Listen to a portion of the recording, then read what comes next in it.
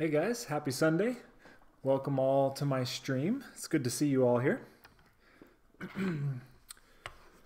uh, so, hopefully, you were able to uh, catch last Sunday's stream. We had a lot of fun. Uh, my friend Josh was in town. We were filming a bunch of uh, tutorial videos. They're going to land on my YouTube channel uh, coming up in the in the next few months as uh, he's able to have some time to edit and produce those.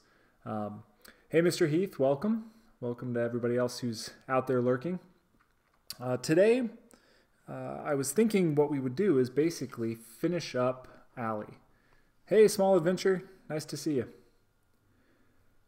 And so with Aly, we just, we really are pretty close to being done with her on painting, painting wise. Uh, there's some buckles that need to be done. They're just primed or base coated in black right now. Uh, the last time we were working on her, I got her boots done. We need to do the brown leather gloves and wrist straps. And then there's a few details on her base that I need to paint the um, gas mask and then the tire. So I'm going to work on those. Then, probably, assuming that that, oh, there's a couple other things. There's some tears in her leggings that we need to go back and, first of all, I need to find where they're at again. And then have a little bit of skin poking through those. And what else?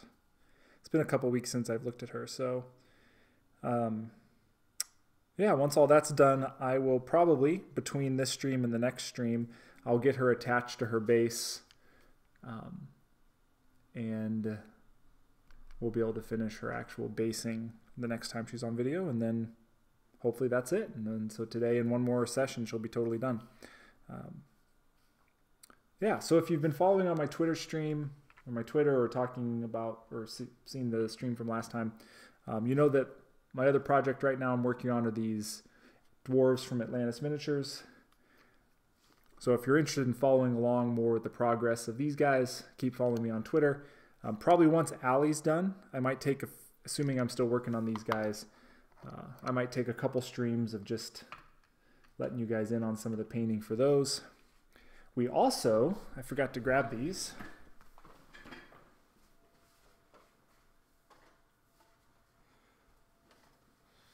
Just this last week, um, the busts finally arrived. The Scottish Celtic warrior busts. Um, the detail on these is really, really sharp. So I'm, I'm really excited to, to get started on them.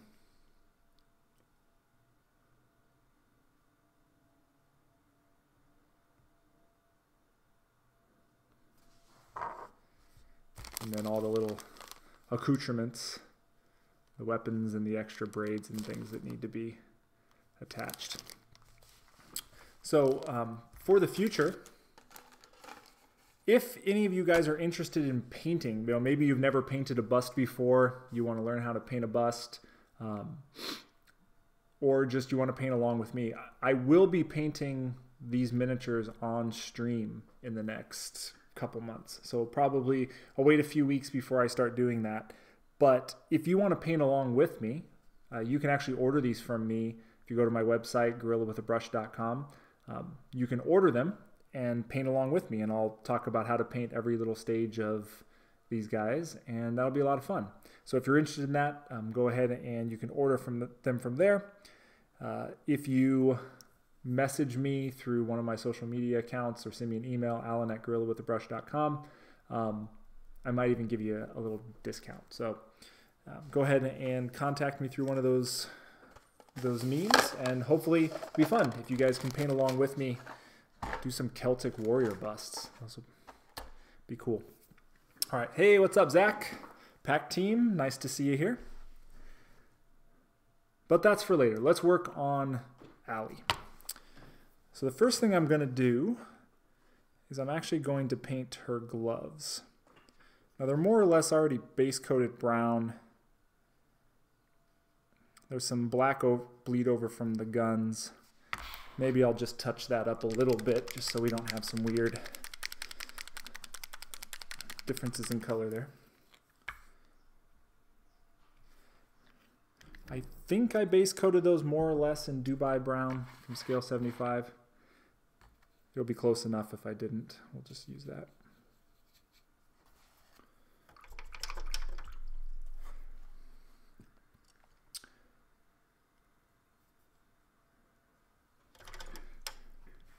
So Blues Light Painting, who's in the the uh, who's in the chat room right now, just finished up a five-headed dragon model he's been working on for four months. How long have you been working on that dragon, Zach? So you guys should all give a shout out to him of congratulations for finishing finishing a monster monster uh, commission. He got to mail that out this week.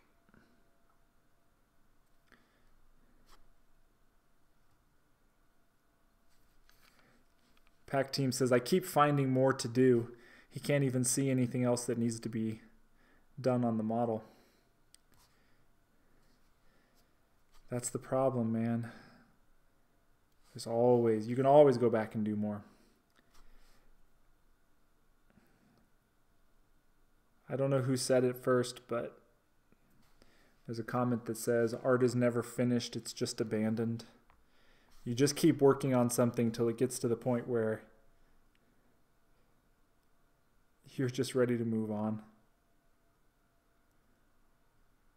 And hopefully, we'll get that, uh, get her to a decent point today and just have the base left.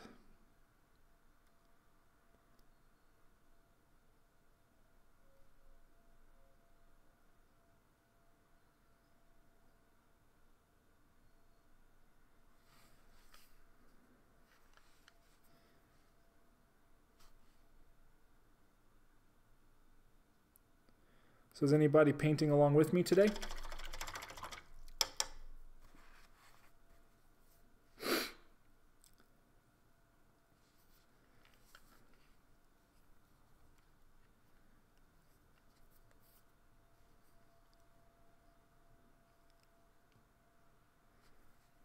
It's always nice to know people are out there with wet paint brushes getting work done on a Sunday afternoon.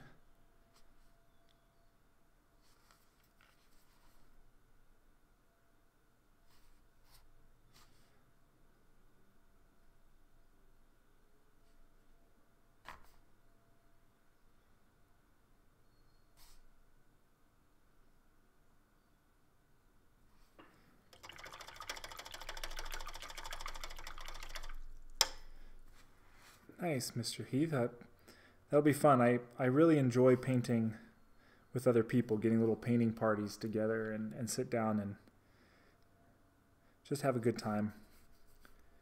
I don't get enough of that these days. That's one of the reasons I created this Twitch stream was to get some people to hang out with me while I paint. It can be kind of lonely just sitting here by myself. All right, let's build up a little texture on those gloves. And I don't know, let's just let's go crazy. Um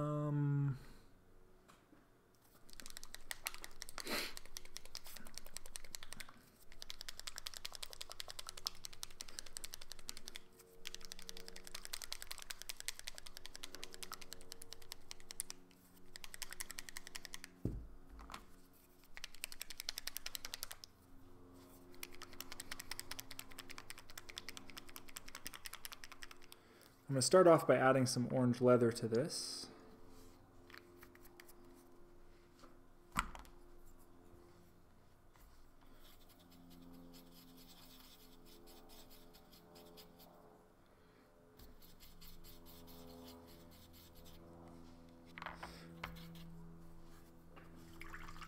By the way, um, I meant I was hoping by the time the stream started today that I could announce the URL and have it tweeted out for where this is located, but it's supposed to get uploaded by the end of today. Uh, yesterday, I was interviewed by a guy named Aaron who hosts the Crit Fail YouTube channel. And so we had a cool, like about two hour conversation or so yesterday through Skype, and he was going to be editing the video, producing it, putting a bunch of pictures of my painted models over the top of our conversation, and um, just having a cool hobby talk. So as soon as I see the final video go up, I will tweet out the link to that. But you guys can go try to find him on YouTube. Uh, again, the, the channel is called Crit Fail. I think there's a second YouTube channel that tries to use that name as well. Um, they only have like five subscribers, so look for the one with more subscribers than that. But he does a lot of like product reviews, and he does different things. He'll do historical models. He'll do uh, kits, like cars or airplanes, things like that. Lots of D and D inspired things. So that's a fun channel to go check out.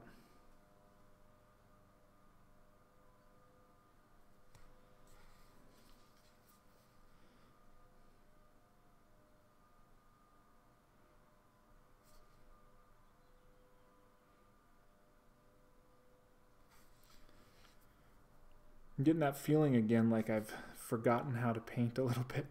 I haven't gotten much painting time in this week after after Josh being in town and we took just about four solid days of mostly just painting in the during the day. I had to take some time off this week to catch up on a few things. I also was just kind of not feeling super well this week, so I didn't get a lot of painting done. Now I just feel clumsy.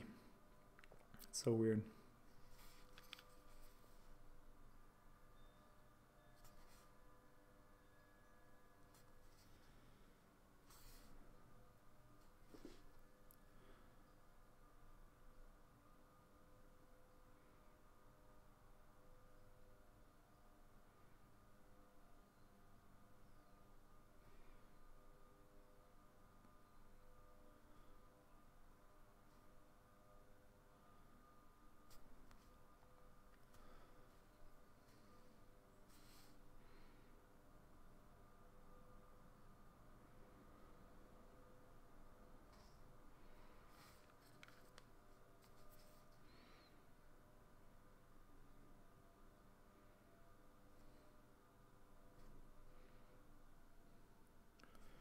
Probably doesn't help. I had about twice as much caffeine today as I normally do. I had breakfast with my wife and then went out to an kind of an early lunch at a breakfast place with my buddy. No rock climbing today. My shoulders kind of tweaked from Friday night.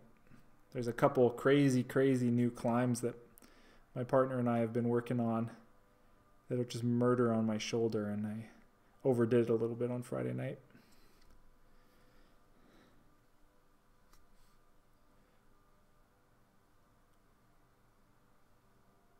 It's tough to remind myself sometimes I'm not as young as I used to be.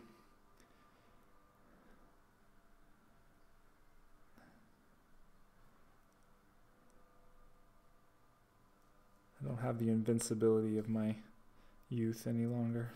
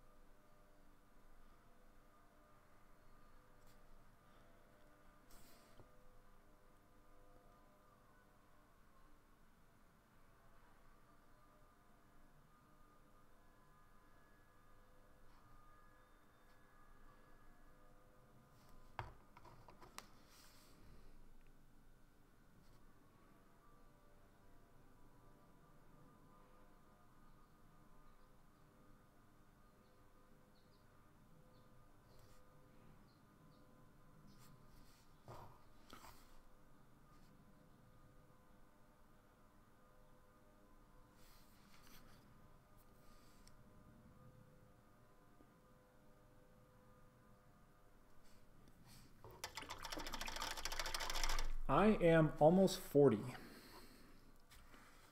Getting pretty close to the big 4-0.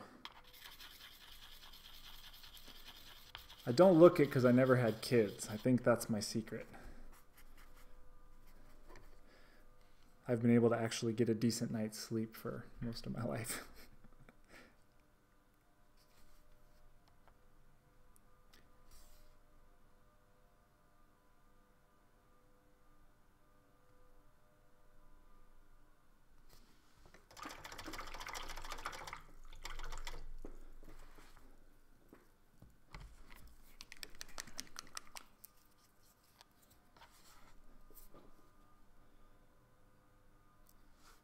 All right, I'm adding a little bit of SS Camo Highlight. It's basically a flesh tone color from Warfront.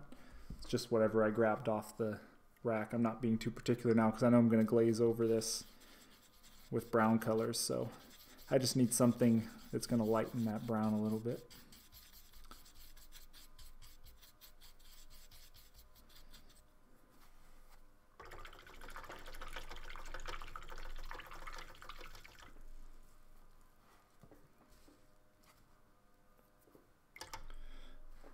That's cool, man. I uh, Pack Team saying that uh, he's got a good friend of his who's got a teenage son who he's going to start painting with. I've been I've been trying to plant the seeds in my niece and nephew over the past couple years. I show them a lot of my painted models and and and talk about the painted models and they get sort of excited. They want to see more. They want to they frequently ask me what I'm working on, so I'll pull out my phone and show them. I'm trying to to create a few inbuilt painting buddies in my my family. We'll see if it pans out, but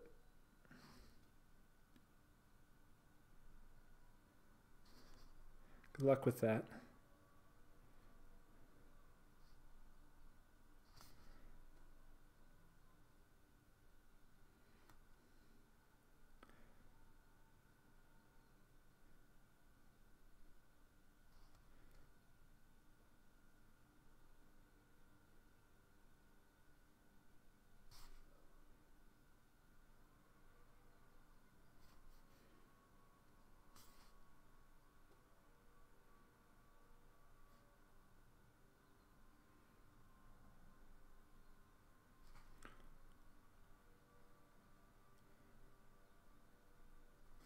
Now, if you kind of watch what I'm doing, while I'm, whenever I do leather,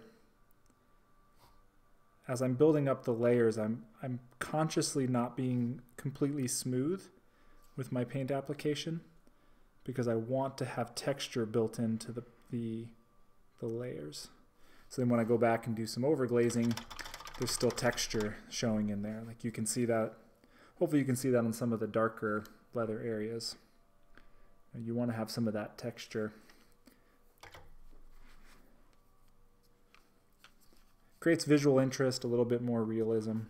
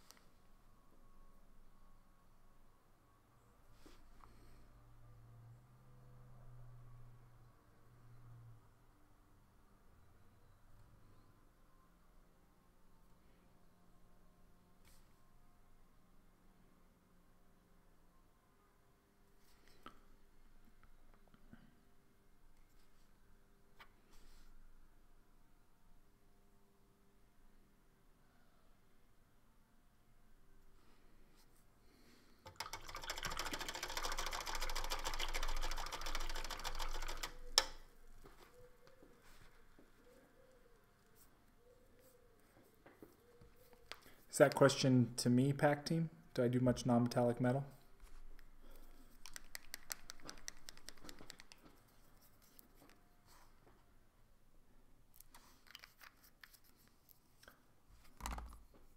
Because if so, that's all I do. I, I don't even own metallic paints.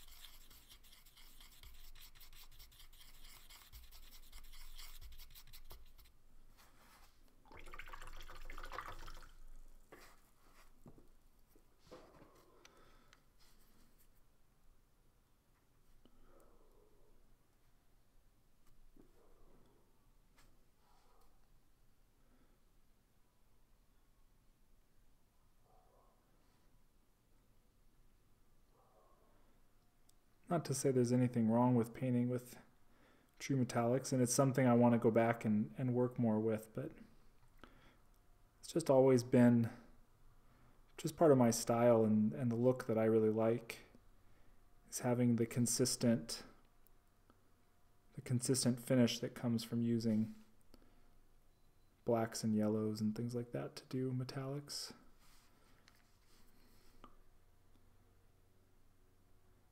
I've always preferred that my my models look more like paintings or animations rather than trying to make them look hyper realistic.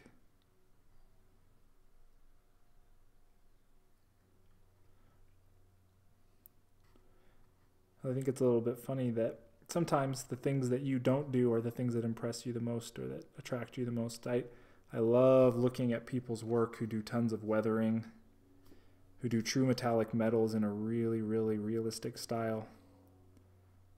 It's just not something I I do myself very much at this, at the moment.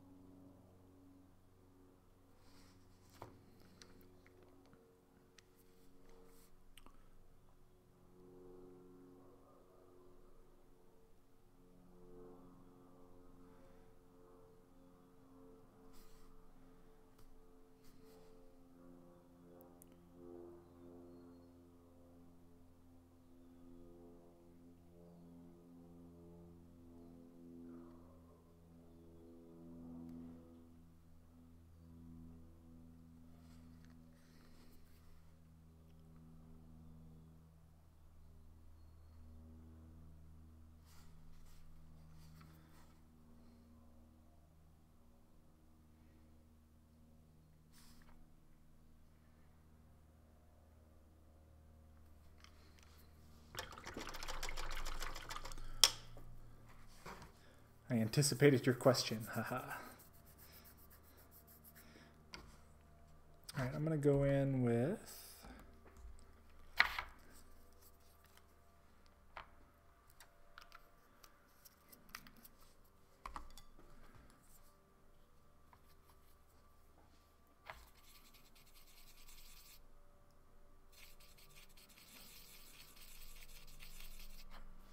Let's do some of the extreme highlighting do I use a particular brush cleaner? So this, I just use water while I'm painting. Um, when I do clean my brushes, I use the Masters brush cleaner and preserver. So it's a pretty popular brand among painters. Uh, I did, in one of the videos Josh and I shot, I talked about brush care. And so I actually showed, gave an example of how to use this to clean your brushes. There's also a pink brush soap that you can get at a lot of craft stores. It just comes in a little bottle and it's pink. Um, that stuff works really well too. That's a liquid. This one's a, a bar soap that you work up to a lather and work into your brushes. But the pink soap stuff works good too. I've used that in the past.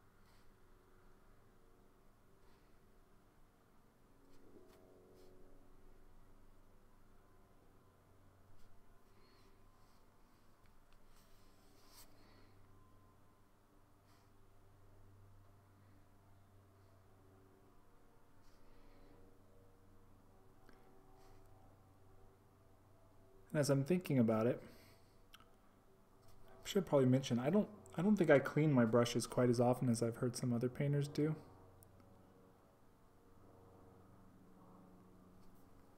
Uh, they still last okay. I think part of it is I, I rinse them really frequently while I'm painting.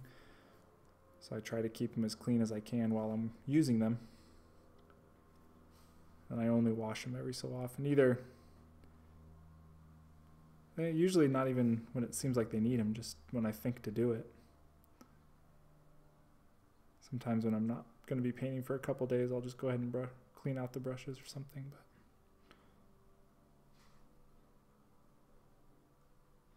There's some artists who will clean, wash their brushes every couple days, or if they do a painting session that lasts more than a couple hours, they just wash them automatically. Seems a little excessive to me in my experience, but.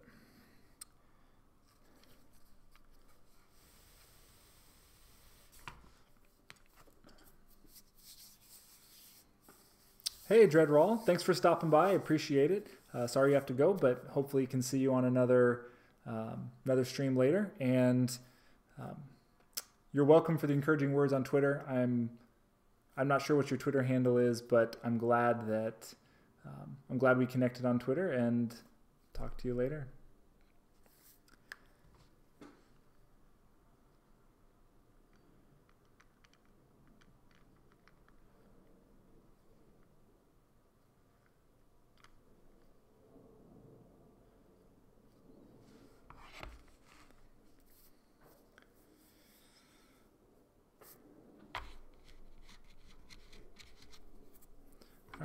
So let's go back in with some Dubai Brown.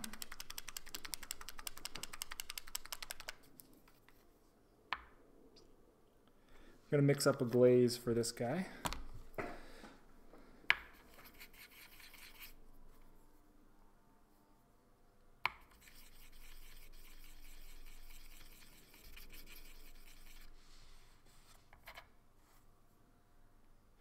Oh, this is awesome. Hey, man.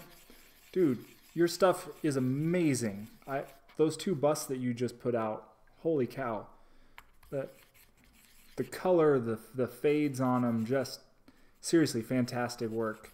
Um, yeah, blew me away. So I'm I'm glad that you're that I was encouraging to you, but I hope you understand that you're doing fantastic stuff. So um, it's it's sincere. I, I really enjoyed seeing those.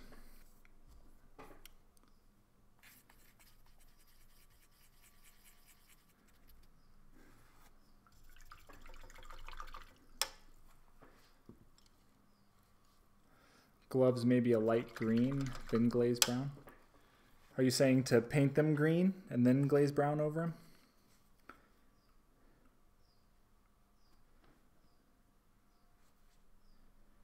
I mean, I could certainly glaze some green into them. I usually prefer to glaze my my colors in later after I go back with the base color.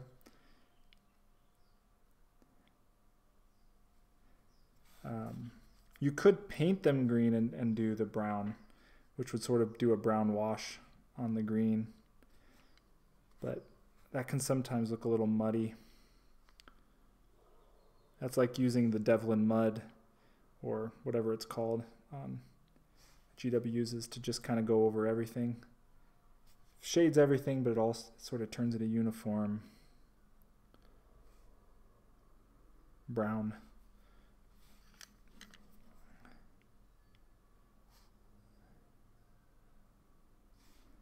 So I like to reestablish my colors and then add some of the, the tones into the highlights. Or, I'm sorry, into the shadows.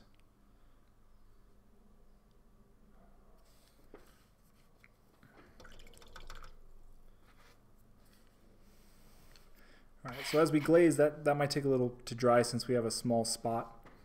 Um, I am going to try to find the places on her leggings where we need to go back in and add some flesh.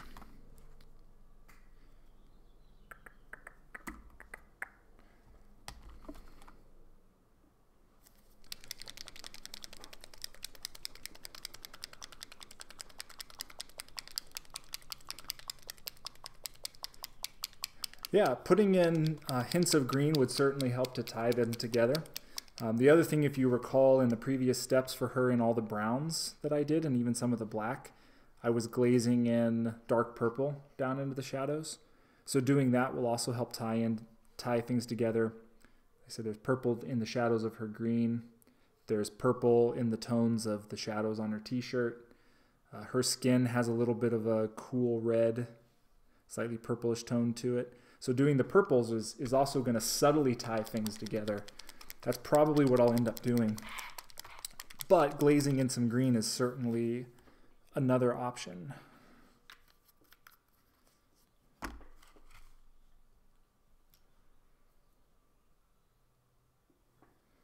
I don't think you could go wrong with either one of those approaches.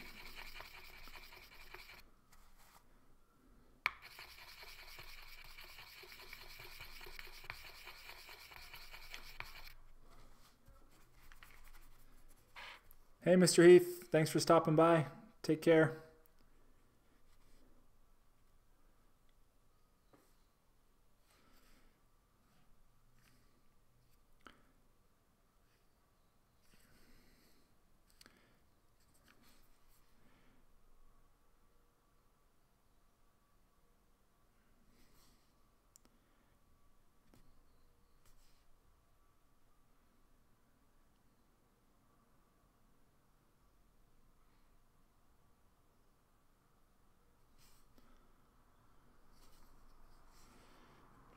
Funny, as I was painting these leggings, I was reminding myself, you gotta go back and, and work on the, the tears.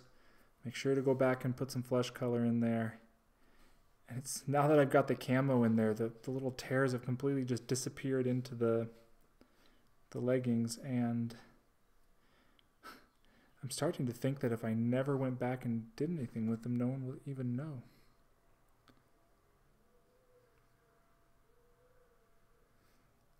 I certainly can't see them anymore, except the one I just filled, I just touched up, but I can easily go back and add dark brown to that.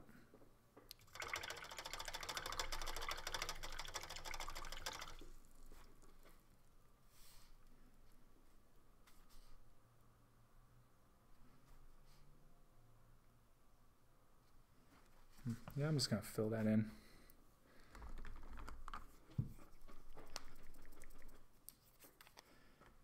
We don't need to highlight and attract attention to something that clearly doesn't even really show up any longer.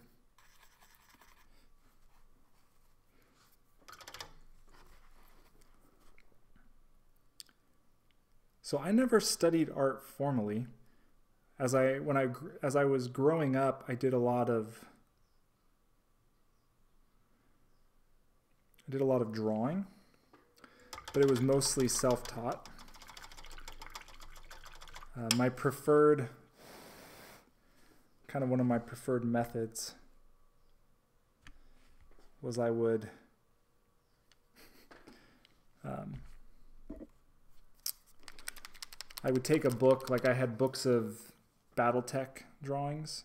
I loved collecting those, looking at all the pictures of the robots in them.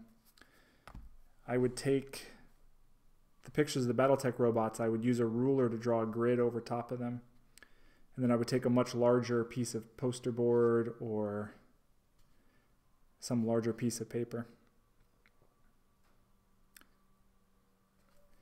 And I would try to reproduce the drawing at a larger scale using the grid as a guide. And then I would do lots of, you know, freehand trying to copy other people's work at different scales and, and teaching myself to draw cartoons and things like that in that way. But um, but that's about the extent of it. I just I just started painting and just you know really enjoyed it and just kept trying to learn more. Push myself, try to copy what other people were doing so I could learn their technique and then adapt it, make it my own. So, in terms of color theory or anything like that that I've gained over time, it's mostly just through trial and error or you know, reading some books or something like that.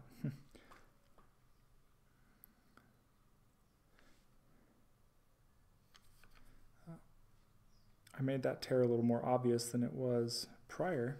I probably would have been best to just leave it alone. That's right. I'm not going to mess with him anymore.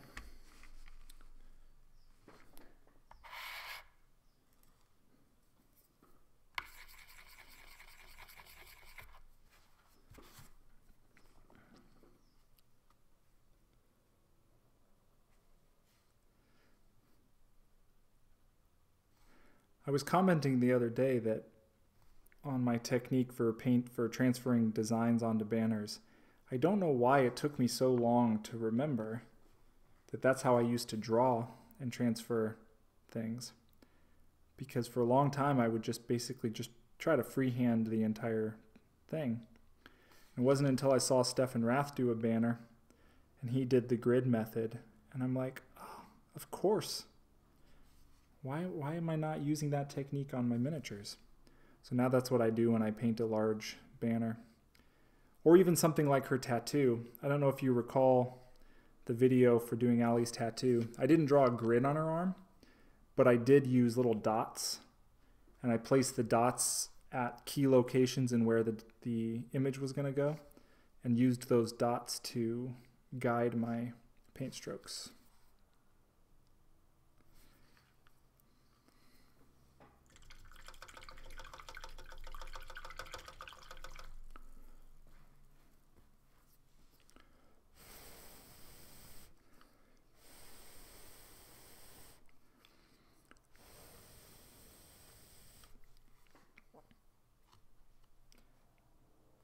Yep, the grid method is super useful for, for doing that stuff.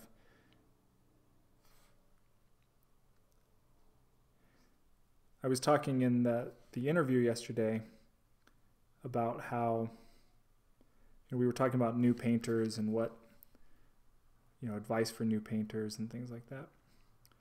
One of the things we started talking about was how a good a good thing to talk to new painters about is trying to demystify some of the process a little bit.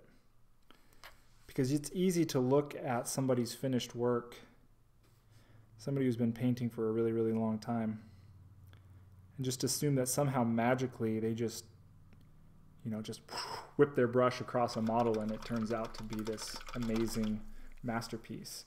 And, you know, if you go back through history, people who were canvas painters, you know, some of the greatest masters of, of history, had people sitting for them. They were using human models to try to create the outlines and the shapes and things that they wanted before filling them in and, and making them more rich with the paint.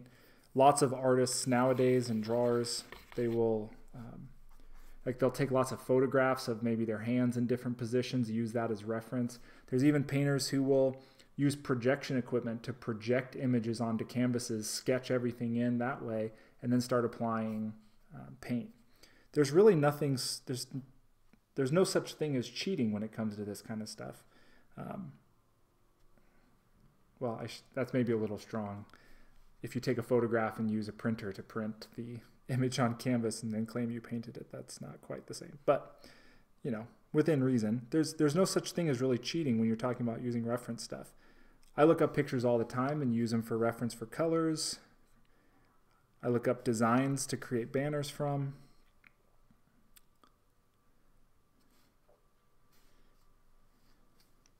And hopefully, one of my goals with doing this model 100% on my stream is to really show people that you know time and dedication and care is is kind of some of the most important things, not just raw skill or um, something like that. It's really about just putting all the little pieces together to, to piece the model together.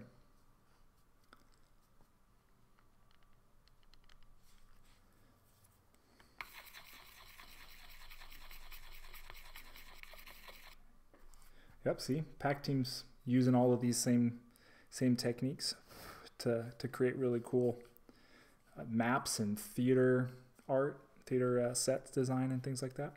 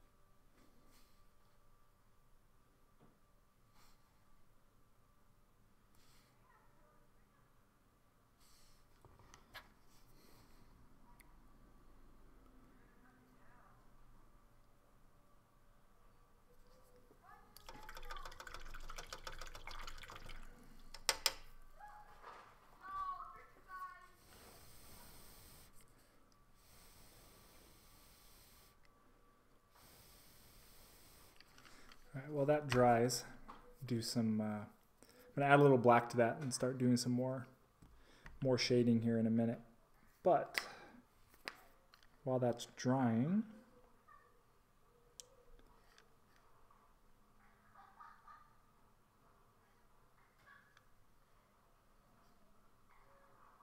I was gonna say I was gonna start uh, touching up a couple places. Ah, yes. She's got some spots on her skin where I have gotten careless.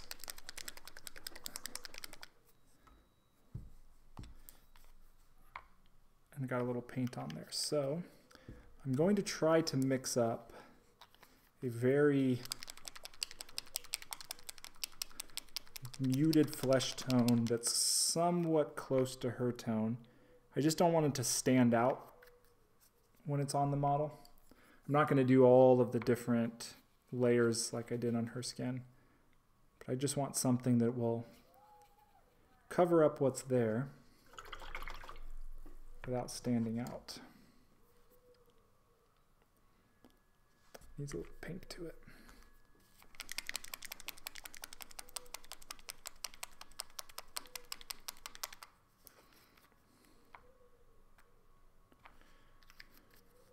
So Pack Team's saying he struggles with working on models. He runs out of steam sometimes, and that's okay too. I mean, there's models that I've started to work on and I've put away to come back to later. Um, or I sometimes struggle as well with inspiration to finish a model off. It's okay. Sometimes it's just important to let your brain just reflect on it a little bit.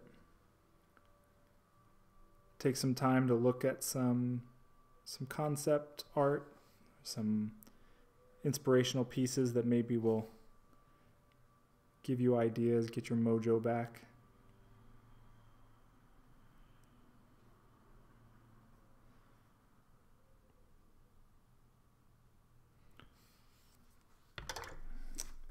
Made that a little too thin.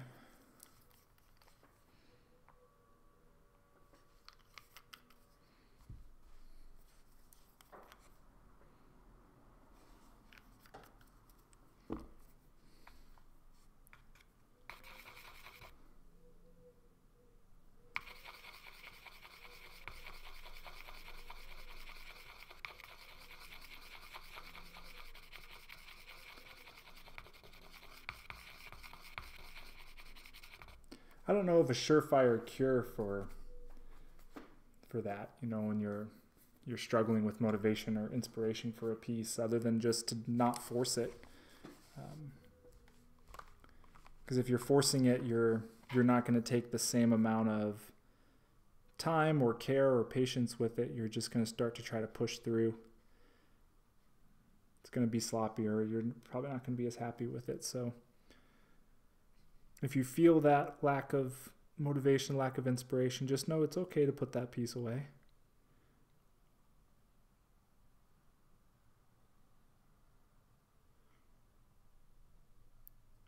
Maybe find somebody to talk through what you're thinking, give you some ideas. Like I said, just go just go browse other people's work, see if there you see something that inspires you.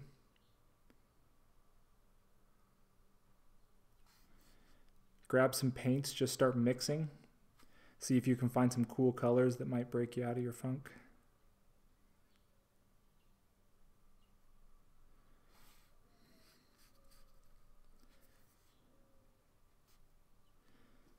I would just say remember that this is supposed to be a hobby, which means it's supposed to be enjoyable. If whatever you're working on isn't making you happy, if you're not enjoying it, then don't do it. Go work on something else for a while.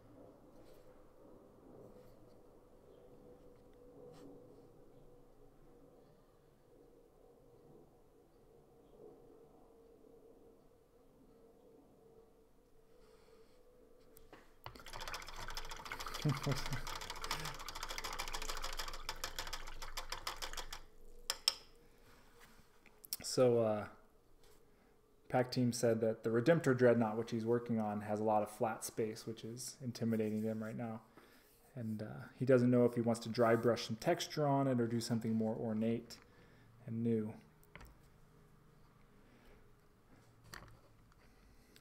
I say go for ornate, man. Try the try the freehand stuff. Do it, man. If you're not gonna if you're not gonna try it now, what model is it? Are you gonna try it on?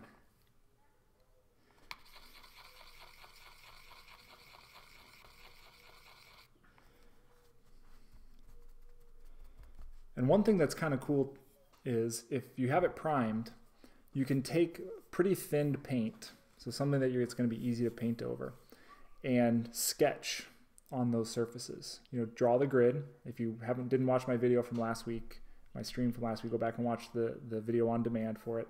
But make a grid on your design, sketch out the design and don't even worry about whether you get it perfect. If you, oh, it's a little wide here, go back and correct a little bit get the sketch on there before you even worry about trying to make anything perfect. Um, it's something that, again, you know, painters or, or artists, cartoonists, things like that, they do lots of sketching before they go back in and ink everything. Um, use the same mindset when you're working on large flat areas on a model. Uh, sketch out what you want to do before you ever worry about trying to, to make the actual details. And then make sure that you give yourself like maybe a darker background than what your detail is going to be or vice versa and just know that if you make a mistake, you can go back and touch up with the other color and just go back and forth. If you remember when I was doing the lettering on the back of her shirt, I went back and forth between the, the off-white color and the green color two or three times before the letters got to be what I wanted them to be. So your first pass doesn't have to be perfect. You're just going to slowly build up the clarity in those details. You can use a pencil. Um, what I don't like about pencils on the models is that they're going to leave little flecks of graphite behind and that's going to get into your paint. It's going to add some some texture into there. Um, so that's not ideal, although you can do it. Um, I would just use a you just use a paintbrush. Again, use very thin down paint so that it's going to be easy to paint over and it's not creating like a thick line that even when you paint over it, it's going to be visible. Just use really thin down paint and just sketch out you know, just kind of sketch out where your shapes are going to be. And then you can go back in and, and fix them later.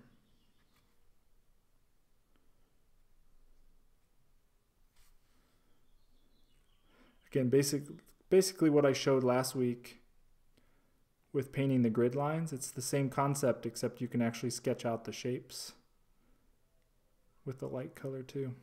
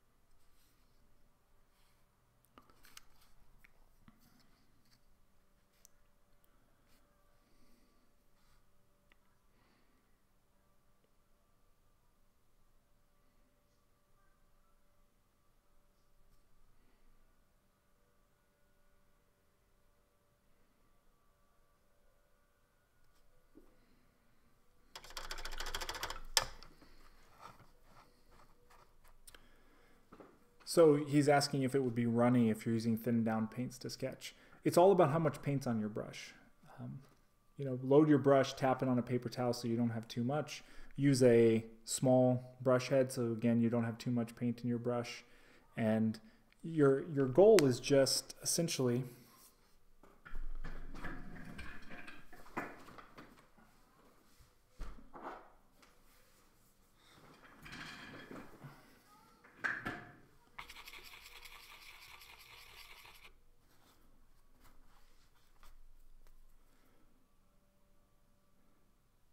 So, you know, maybe you want to do a lion head and you've got a lion head uh, reference art. So if you look at the shapes in the lion head, maybe he's got kind of a, like an oval for the top of his head. You just kind of sketch out, okay, there's the shape for the top of his head. He's going to have sort of an oval for the long part of his face. You can sketch that part in. Sketch out where his ears are going to be. So it's thin paint, but I don't have very much on my brush. Sketch out where the where the mane is going to come out to. If you go out too far, you say, I don't really want it out that far. It's okay because at this point you're just sketching in, you're going to paint over it later anyway. So you get the you get the areas established. Then you can go back in with paint that's thicker. And once you get all your shapes secure, you can go back in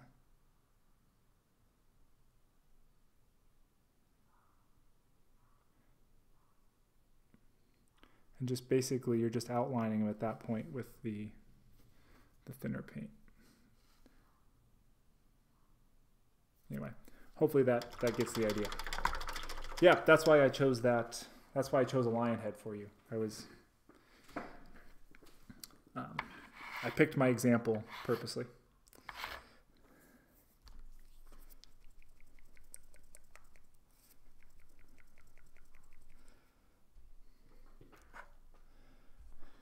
Well, scroll work definitely is a little bit more uh, difficult just because um,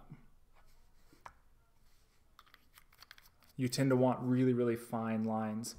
But again, the secret, one of the secrets is that you go back and forth between them. So once you have your initial sort of sketches of where those scrolls are going to go, and then you paint in the actual scroll with the slightly thicker paint, anywhere where you get it a little too thick or you get it like the line is a little too thick or um, you realize you kind of messed up like the arc isn't quite what you want just fix it what you want and then go back in with the base color that's behind it whatever your background color is and work on that side. And you can just go back and forth between the two colors cleaning up your work as you go.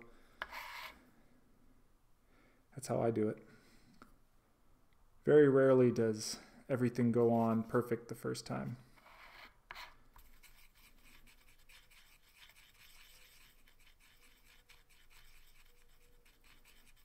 You can also, they make paint pens, which are really thin, essentially pins, but they're putting out paint. You can get those at craft stores and things. Um, and you can just draw the scroll work on if you prefer to draw rather than use a paintbrush. That can work as well. I've seen people do that. I will admit that I've never done that myself, so I can't I can't speak to how how well they work. They seem to work well for other people. I just can't give you any tips on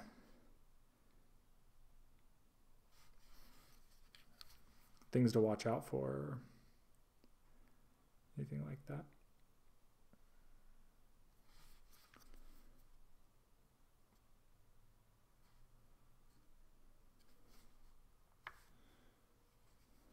So I just added a little bit of black to that brown and I'm starting to glaze in some shadows with the gloves.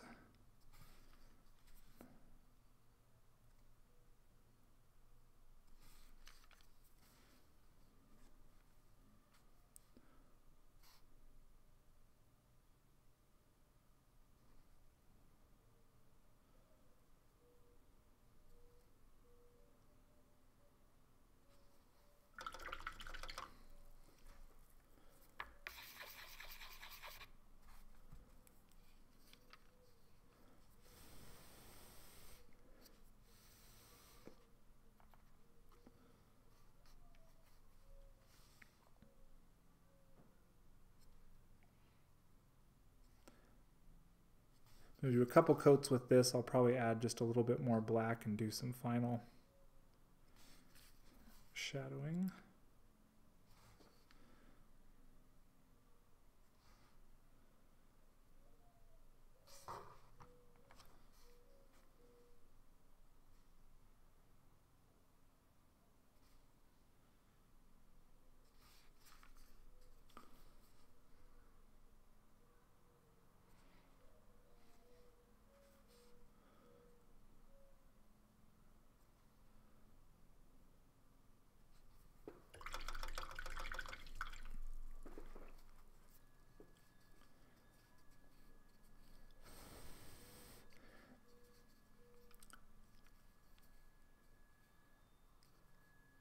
What kind of piece was it, Pack Team? Was it a uh, was it like a model you were painting, or was it like canvas art or a drawing or something?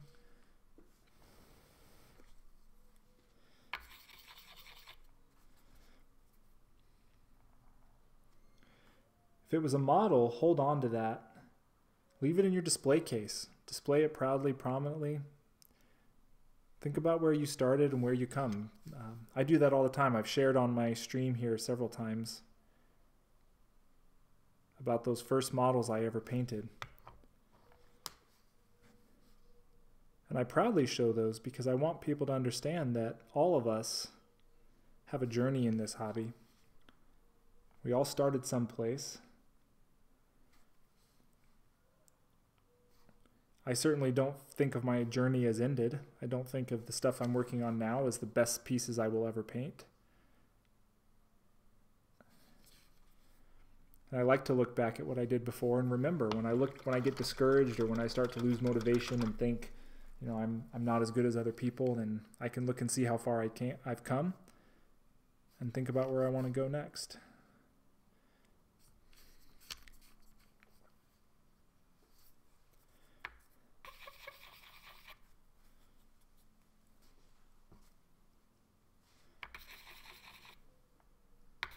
There's a 40k Space Marine.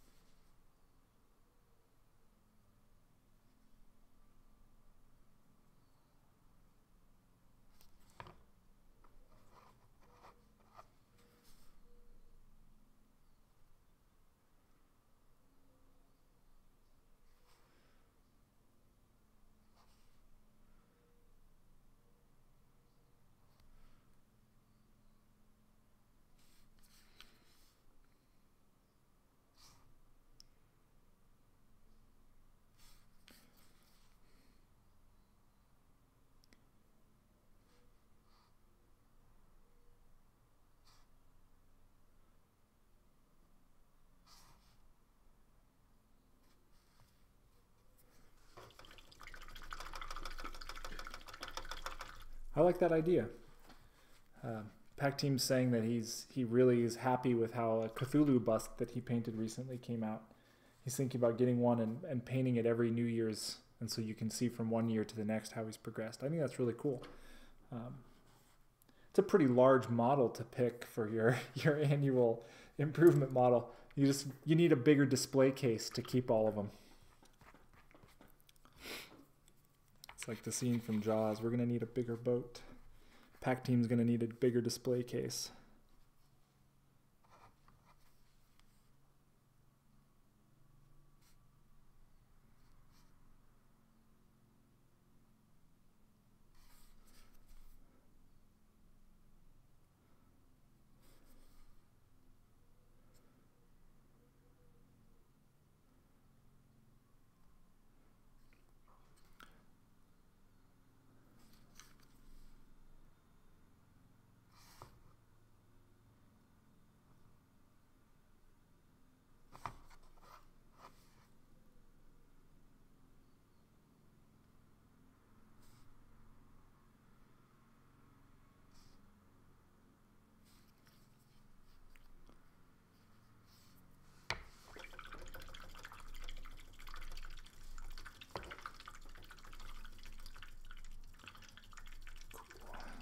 Pretty happy with where that's coming. I'm going to do one more coat.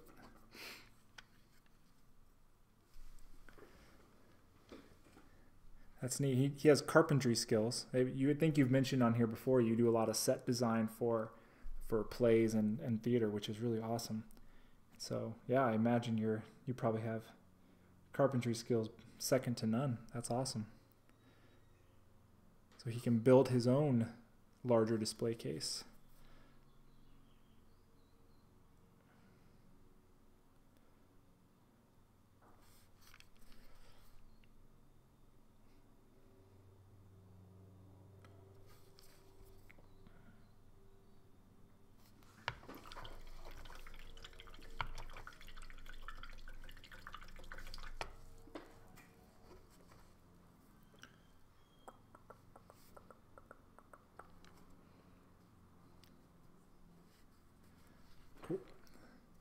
I'm liking those gloves.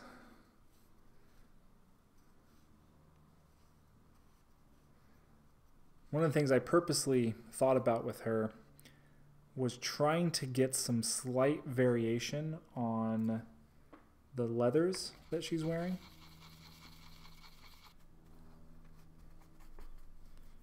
So even though she's wearing, she's got boots, she's got belts, holsters, gloves. It would have been faster and guaranteed to make her, you know, make everything match if I had just done it all the same.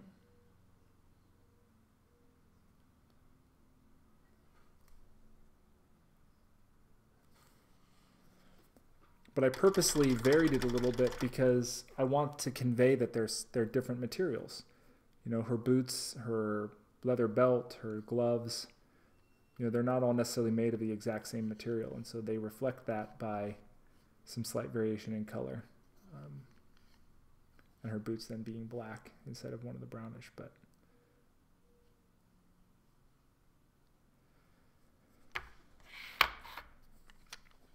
All right, she's got some some buckles on her gloves. I'm gonna base coat those in black.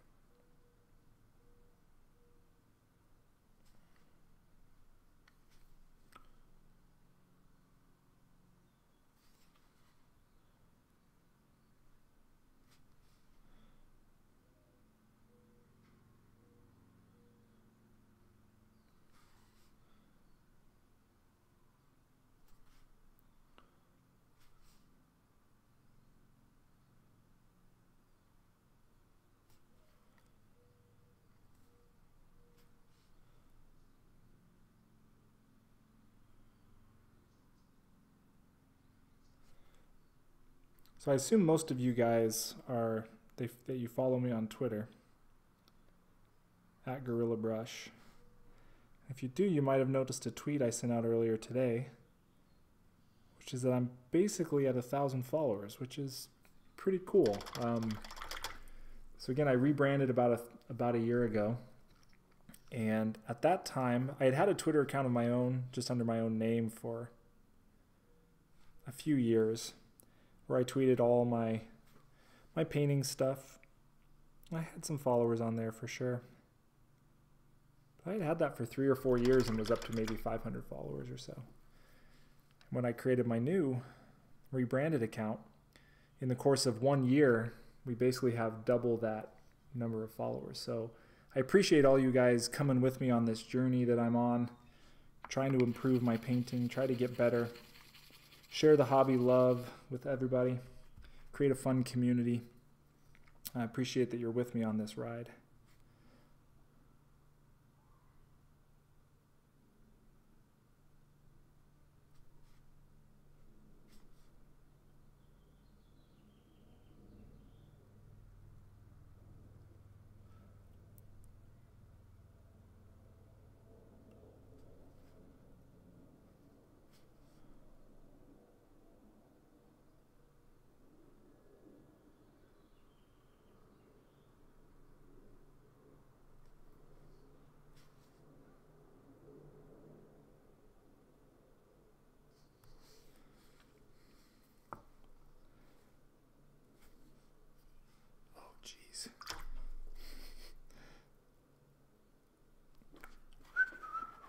You didn't see that.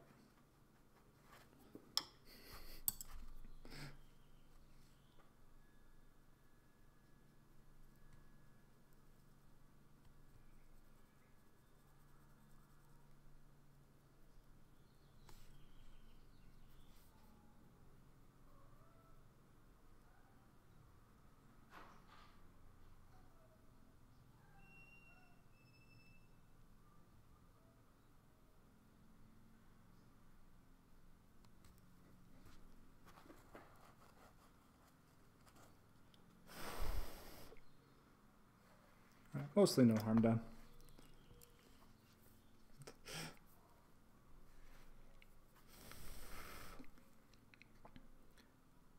It's just paint. It's just paint. As long as you catch it while it's wet, it's not.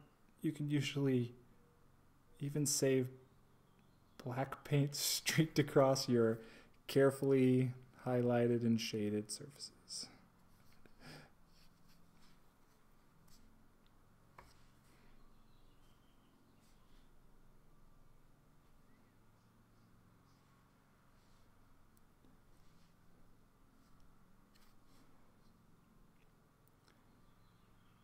Trick is a wet wet paintbrush and gentle, be very gentle because you don't want to rub off the paint that's below. You just want to get the stuff that's the wettest.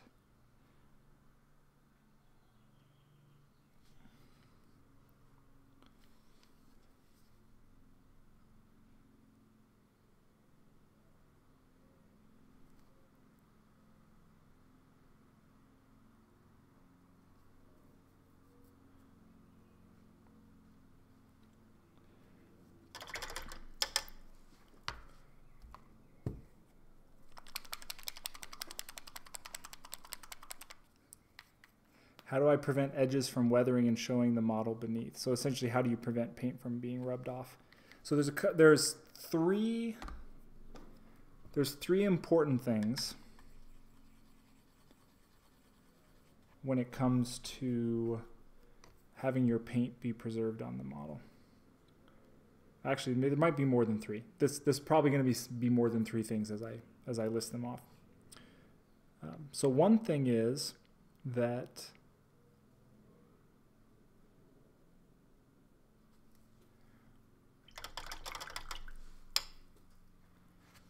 Um,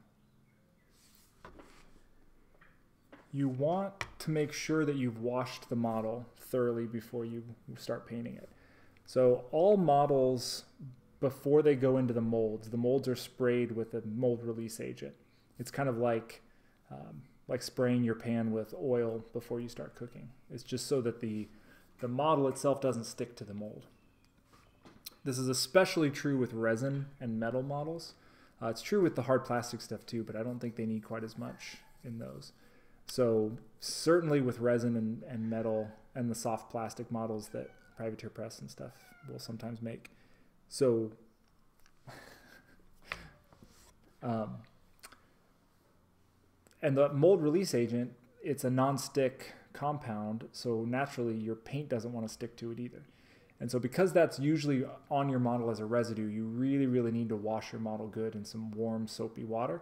Um, even better is take an old toothbrush and scrub them down um, gently, but scrub, scrub with the warm soapy water, rinse it really good, let it dry fully before you try to put any paint on it. So let it sit for 24 hours or so, let it dry. So that's the first thing. The second thing is you need a really good quality primer. Uh, if you're doing metal models, um, the best primers for durability are automotive primers because they're self-etching. They will actually bond to metal. If you just get normal spray paint, normal spray paint's usually made for more plastic surfaces or wood surfaces and things that are uh, that'll bond to better. So make sure that you get a primer that is meant for the surfaces that you're doing. If you're doing something with plastic or resin, usually any of the model primers are going to be pretty good um, Badger primers or GW primers, whatever. They're pretty they're pretty decent for plastic or resin, but for metal stuff, you need stuff that's an actual metal primer, really. Um, the negative side of that is they're usually thicker, so they can sometimes hide detail if you're not careful. So it's a little bit of a trade-off there. Uh, the next thing is it's going to matter about the durability of the paint that you're putting on. So for example, if you know Vallejo has, for example, model color and game color, one of the big differences other than just how sort of bright and fantasy-ish the colors are, uh, the game color has more acrylic hardener in it. I'm pretty sure that's what it what gives it the hardness. And so it's more durable than the model paint. So the model color is meant for more display type stuff. The game stuff is meant for more gaming models. Now, gamers and painters use both of them interchangeably, just whatever color they want. But that's, I think, the original design of them. So the game color has more durability. Uh, things like GW have a little bit more acrylic hardener than things like the scale color have. Scale colors are going to rub off um, a little bit easier. So that's another thing. Um, after that, while you're painting the model, you try not to touch the model with your hands. Um, you could put use gloves if you want, but gloves are still going to rub off. But if you touch the model with your hands, which is one of the reasons I really like the, the RathCore holders, if you touch the model with your hands, you're doing two things. You're actively rubbing the surface, so you're rubbing things off.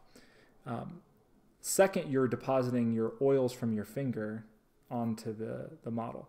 And just like the paint doesn't want to stick to that, the mold release agent, the paint's not going to want to stick to oil in your fingers either. So if you got oil from your fingers on the model and you paint over it, you're not getting a strong bond, and so that paint's going to rub off more easily. And finally, you want to varnish any models that you're worried about um, having things chip or rub off of. Um, there's kind of an old adage that the gloss varnish is more protective than matte coat, and then other people disagree. I'm not a chemist, I don't understand everything. I do know that there's a difference between products like Testors Dull Coat, which is a finisher, it's not a true varnish, versus things like Minwax Polycrylic, which are an actual varnish protective coat.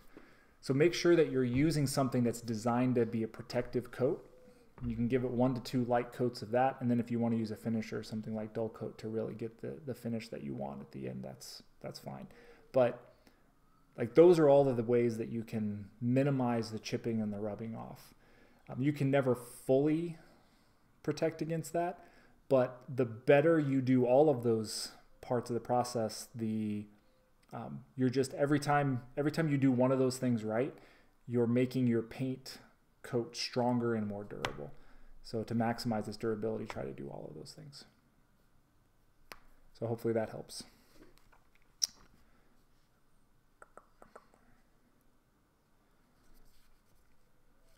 All right, so let's paint her little buckles and stuff. I don't want these things to be super shiny. So I'm not gonna go really light with the gray. especially the buckles on the straps that go across her legs. I don't want those too shiny.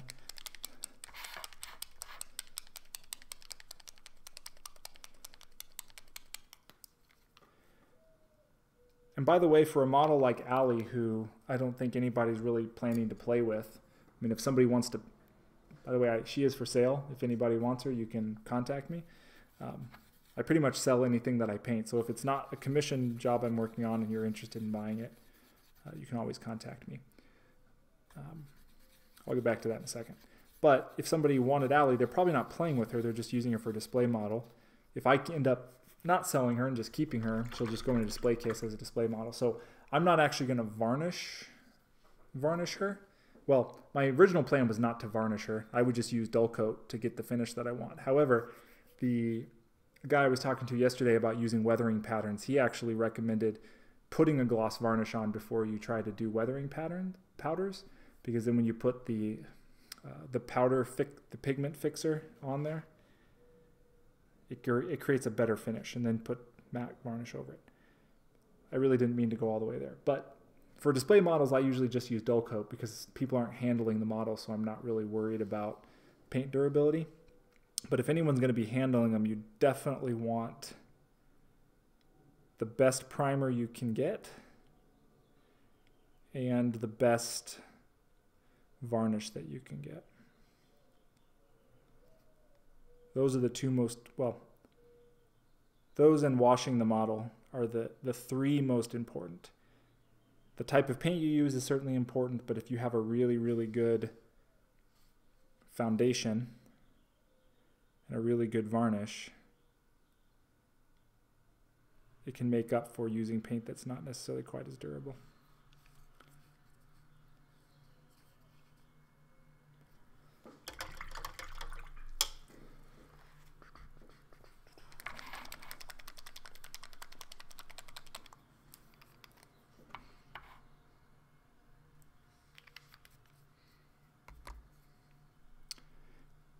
Hey, Pack Team, it was good to see you. Take care of yourself, man. Tell the wife I said hello.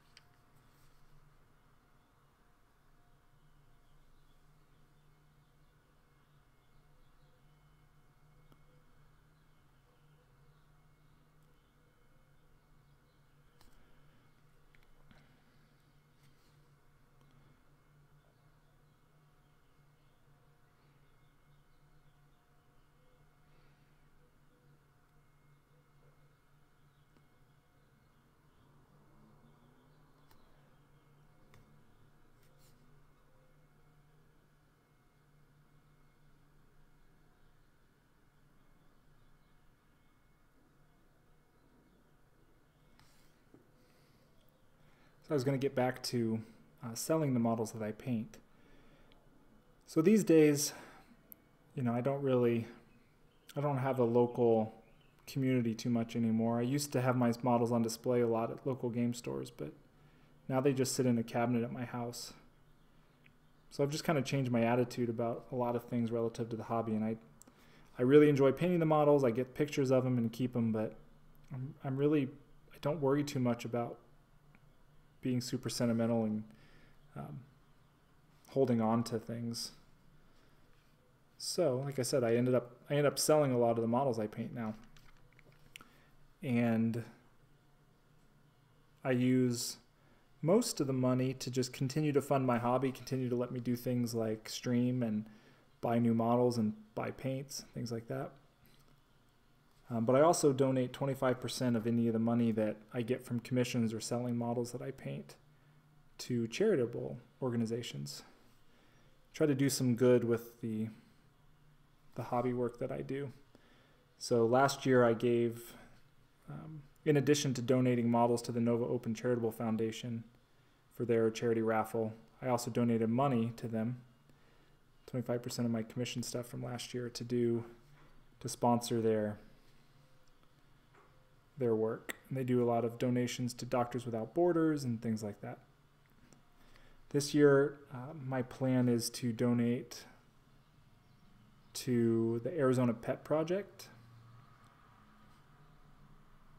There's going to be one one big company. What they do is they go to, they're in contact with a lot of vet vet uh, vets and animal hospitals and stuff in the region, and when when families who can't really afford veterinary care for their their uh, family pets, the Arizona Pet Project can step in and help them out with some of the medical bills so that you know poor kids who don't have a lot necessarily going on and going for them in their life and life is kind of tough and you know they can keep some keep their best friend in their life essentially. And so I think it's a really good cause and they get really they get good ratings for their charity in terms of the amount of that they're that the money you donate to them actually does. There's not a lot of overhead costs and things. So that's one thing. And then also the Gorilla International Fund, just to kind of help out my namesakes. They do a lot of work with local communities where gorillas actually live and try to educate that population and help them so that the gorillas and the locals can live in harmony together and stuff like that. So those those are two organizations I plan to donate to this year. So I try not to. I'm, my plan is to not really ever make, never hide or ever hide my stuff behind a paywall. So a lot of painters who have Patreon accounts and they people who donate to them can get access to streams like this or they can get access to special tutorial videos. Um, I just did a bunch of tutorial videos. I'm going to make all those freely available to you guys. I'm not going to be charging for them. So, you know, if you're if you're ever wanting to support me in what I do, other than just being awesome on Twitter and liking and sharing the things that I do. If you're ever wanting to support me monetarily, there's a couple things you could do. Um, you can always subscribe to my Twitch channel, which ends up some of that trickles down to me, which is cool. Um, you can purchase things on Amazon using the links that are on my Twitch page, so that funnels some money back to me. Um, you can purchase one of the models that I paint, and certainly that that helps. And then you can have a display model, something that I've worked on. Um, at the moment, if you purchase those busts, those Celtic busts, um, that that's a way to support me as well. You don't have to do any of those things just you being here, just watching my videos, hanging out with me, encouraging me on Twitter to keep me going. Um, that's the most important thing to me, but I just wanted to throw that out there that if you're interested in, in helping me out, those are a few ways you can do it. And again, 25% of this, the money that I make from this hobby, I, I donate. So anyway, that's my commercial. I do one of those every so often on stream, but not, not too much because that's not what this is about. This is about us hanging out and painting.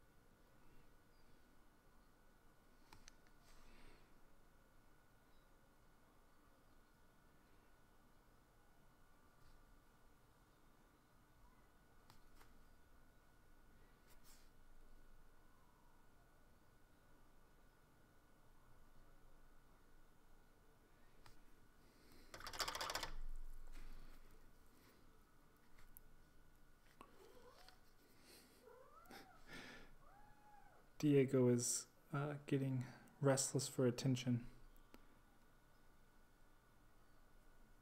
He keeps running past my legs and brushing me with his tail. I think he's he's wanting to know if Cass was on stream.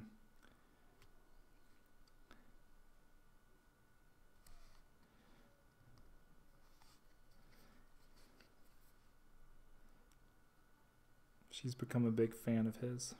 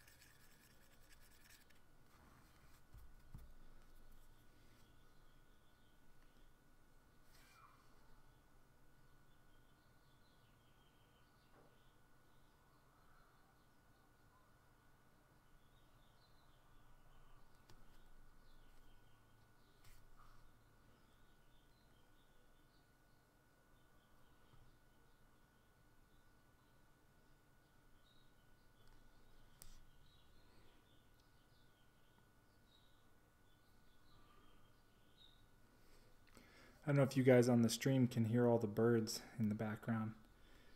It's a really beautiful day here where I live. We've got all the doors and windows in our house open.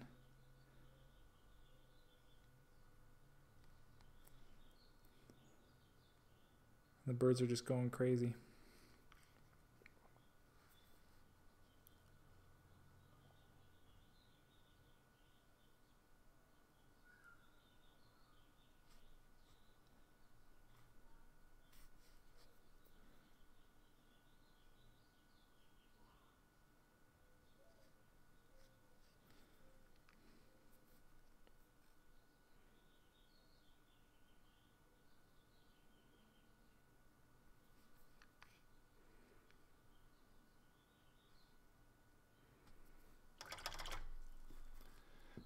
Try something here. This might end up being a mistake.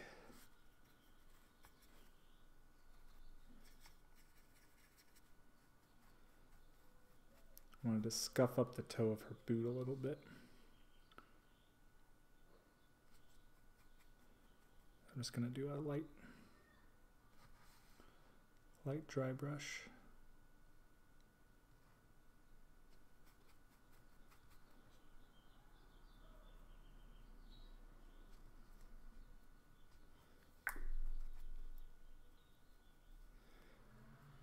Got really light.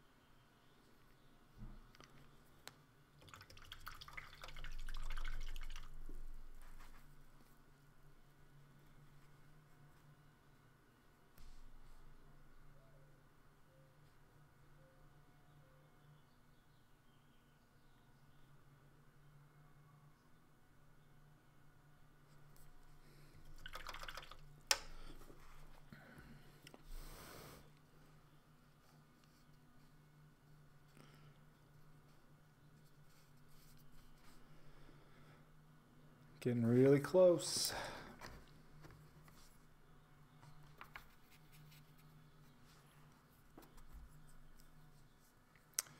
Mm, I don't want that gray.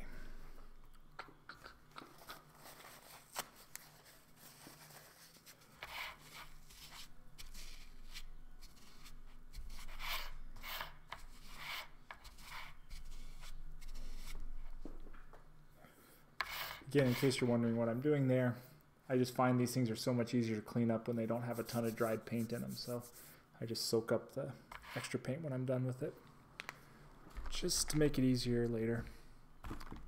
So what I want for the tires is I actually want a warmer gray. I want gray with a little bit of brown in it.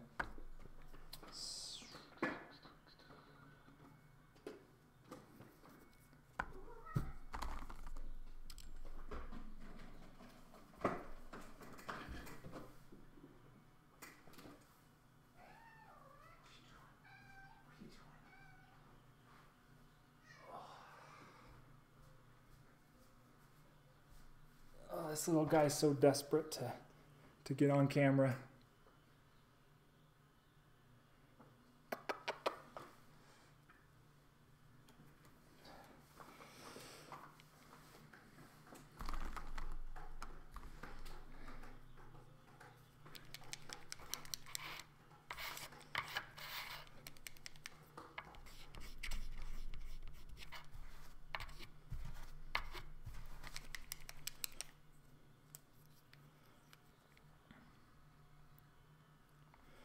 To start with um, petroleum gray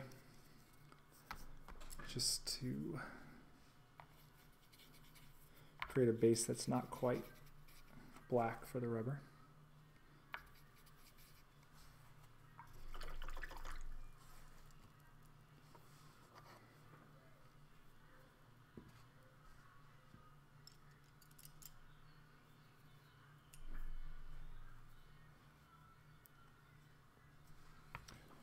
Close the front door because somebody's doing yard work out there.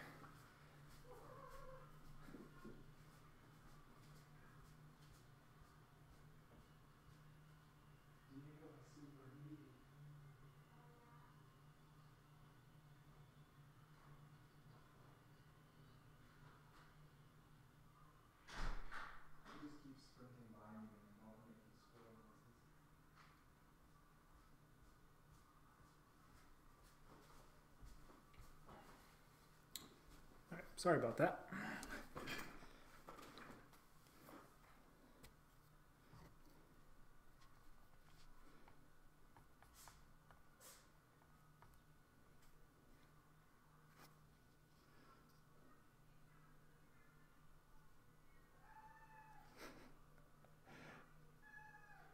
And now the cat is crying.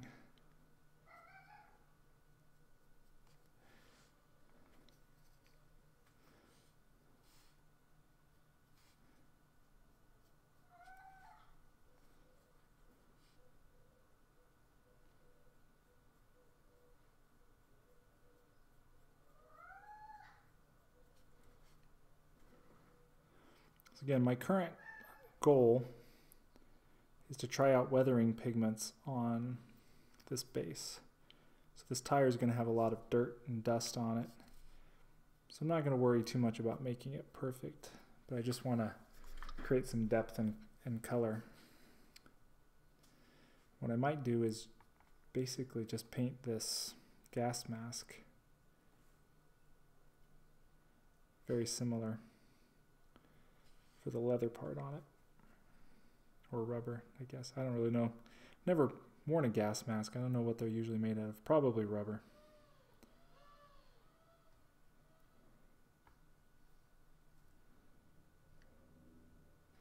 I would guess leather might be more porous than you would want for a gas mask.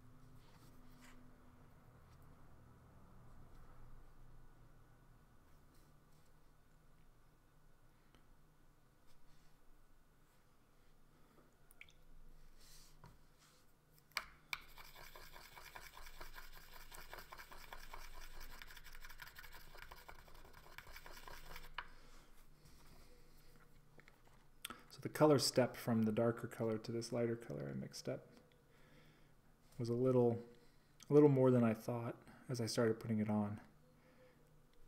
So I just I watered it down a little bit so that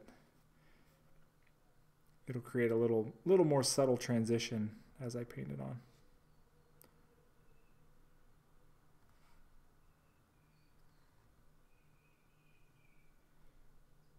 Thinner paints show more of the the base coat so you get a more subtle transition.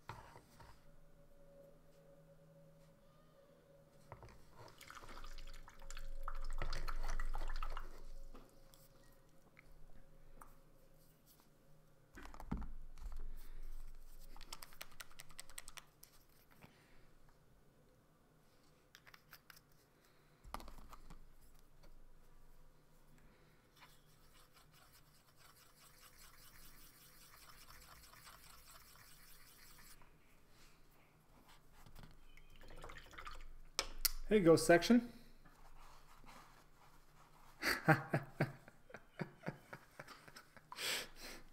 That's awesome.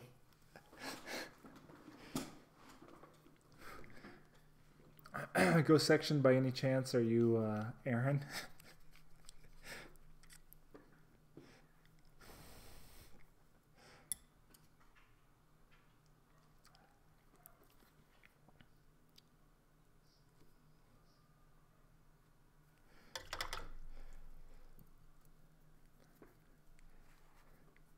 Yeah. So Ghost Section and I were having a conversation. He's the one who runs the the channel um, Crit Fail I was telling you guys about earlier in the broadcast. That you should definitely go check out their their YouTube page and there's going to be a video of him and I chatting hobby yesterday from yesterday. But I was mentioning that my my most frequently asked question that I get is where did I get these holders? And it's usually, you know, it'll be some post where like for example, like after today's stream, I'll post her up and say basically the painting on her is all finished. I just have to finish the base. What do you guys think? I'm super proud of her.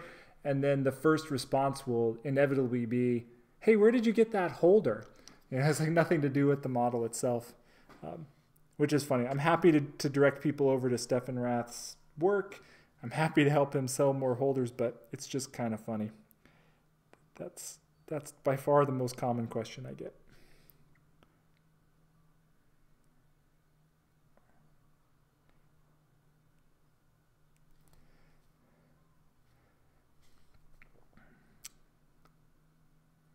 Glad you could make it on live for a little bit here.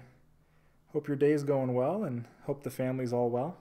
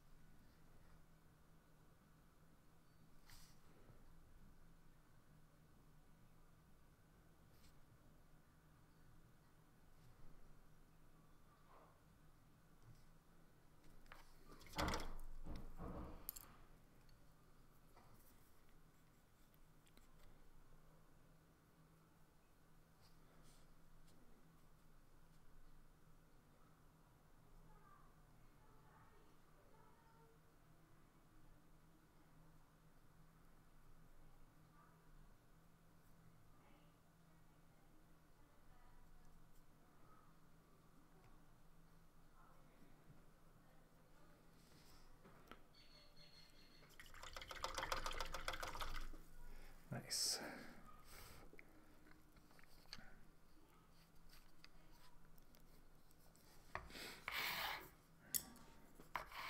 All right, so now that I've got that,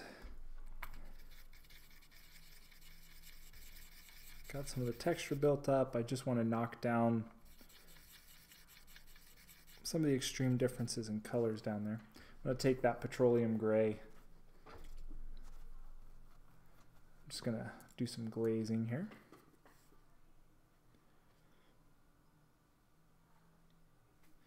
Working down towards the shadows.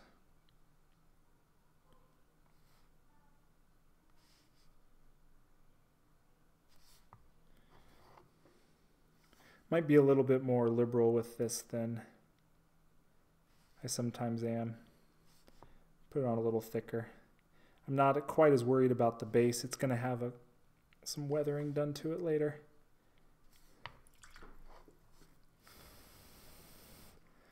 And I don't usually generally worry about things on the base quite as much in terms of how clean everything is.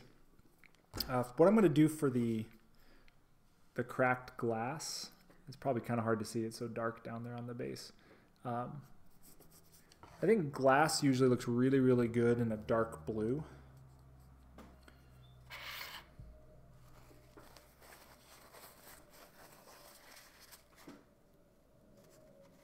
Yeah, exactly. Pushing the pigment into where I want it the darkest. Um,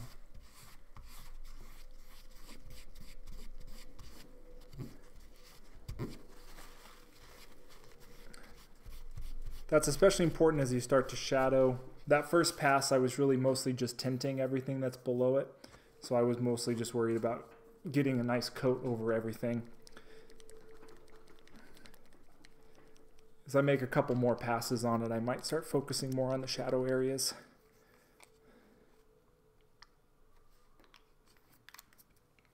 So I'm going to start with a dark blue.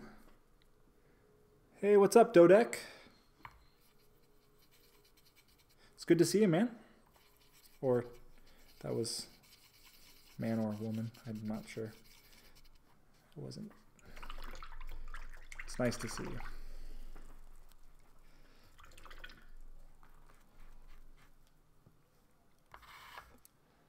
So I mixed up this blue really, really thin.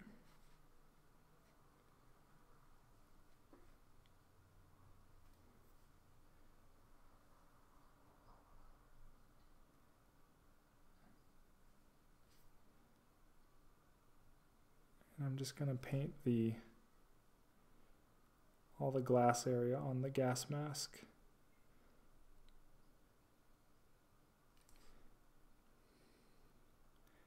It was base coated black, so I'm going to leave a little ring of black right around the edge.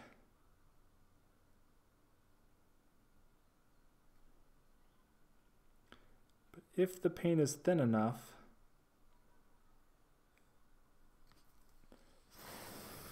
as it dries, it'll just be a hint of blue. It won't be super duper dark blue or rich blue. It'll look more like black tinted blue. And I'm going to do a couple more passes with that, focusing on more and more towards the center of the glass where it's the highest. So again, if, if you did it right, it should only just be a little blue. It shouldn't be jumping out at you blue.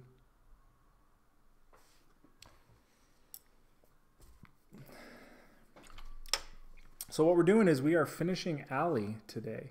Um, other everything the except the base. I probably will not have the base done when I sign off today, but we're going to get paint on everything that needs paint. So everything from her boots up is actually done. We finished it today. So this model is by Black Veil Models. If anybody's interested, it's Aly, the Last Survivor. She's kind of a, we've decided she's a cross between Tomb Raider and Resident Evil. I think she's probably modeled on Milla Jovovich from Resident Evil, but other people have said she's got a lot of Tomb Raider in her, so it's possible it's a cross between the two. But right now we're working on the tire and the gas mask that is on our base.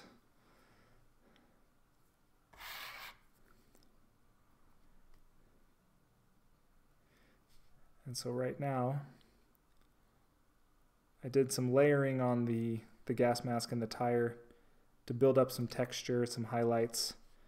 And right now I'm just doing a loose glazing layer or two to bring back the the brownish gray tones that I want to dominate. So two passes is probably good enough for to bring those tones back in. Thank you. Um, I might do one or two more down into the shadow areas, to make it continue to make those shadow areas darker. While I also go back and work on the glass here. And the final thing that I'll do is I'll, I'll come back and touch up all the metal areas on the gas mask. I'll edge those, make those a little more apparent.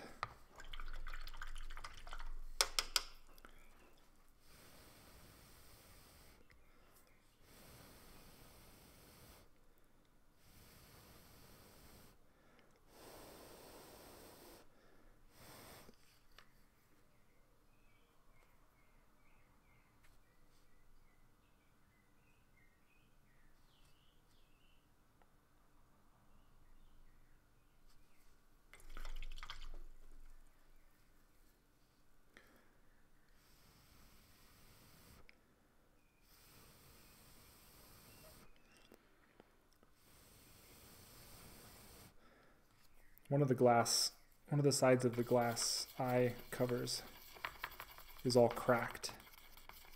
So that will be interesting to get in there and, and highlight those cracks without going too crazy.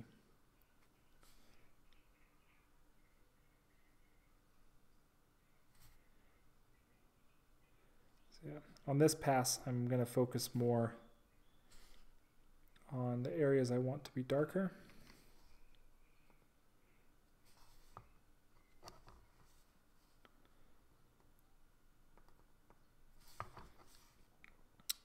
Always pulling my paintbrush in the direction that I want the shadows to be because the paintbrush is pulling the pigment.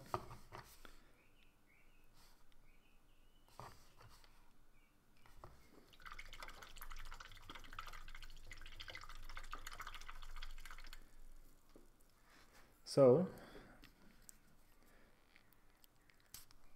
so the way the, the holder works is that they're primarily designed to pinch things, which is really good if you have models that have the tabs on their feet. Um, what I usually do is I use paper clip and I just drill some holes either into the base or with models like this. Uh, let me show you this one's better. So this guy, I drilled it up into his foot. And so I just use the paper clip. With these guys, then it becomes a pin to then attach them to the base. So I just clip it, leaving about a quarter inch or so, just a little bit left on it. With hers, I'll clip the whole thing off or just take a pair of pliers and pop it out because she's going to sit on, ultimately, she's going to be on this plinth. So Yep, so then I can just stick that between in the little holder. Then when you stick it in the other holder, it puts, puts pressure on the sides of the cork,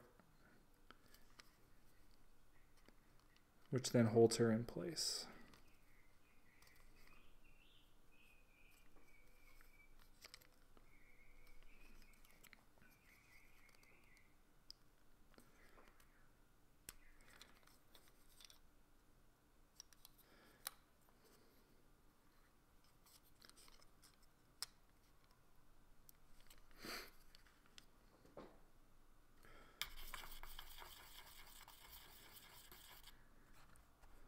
I know a lot of people use things like Blu Tack. Um, I've just always I found that the paper clip really works well. Again, for most models, I end up wanting to have a pin to attach them to a base anyway. So it's nice to have it just sort of already built in to what I'm doing.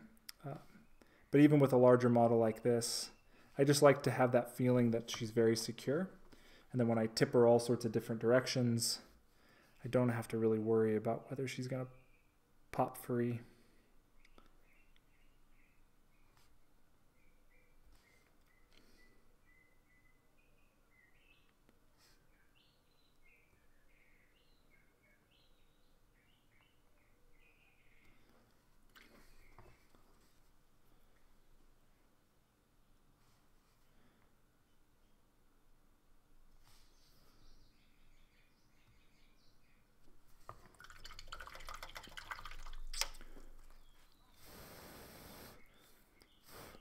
However, I will show you something.